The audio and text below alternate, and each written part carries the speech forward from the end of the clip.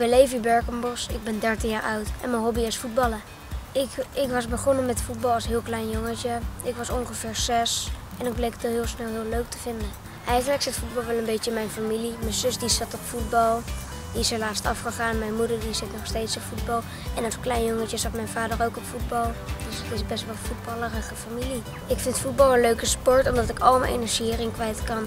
En ik vind het leuk om met een team te spelen. Ik train twee keer per week en ik heb één wedstrijd per week. En ik vind wedstrijden eigenlijk wel leuker, omdat ik dan echt alle spanning voel. En ja, daar doe ik meer mijn best. Mijn favoriete club is Ajax. Ik ben een fanatieke fan. Mijn hele kamer hangt er vol mee. Waarom ben ik voor Ajax? Nou, omdat het mijn, mijn stad is en het is gewoon de beste club. Ik wou sinds klein af aan al graag profvoetballer worden. Het was altijd al mijn droom. En ik hoop dat ik het ooit waar kan maken.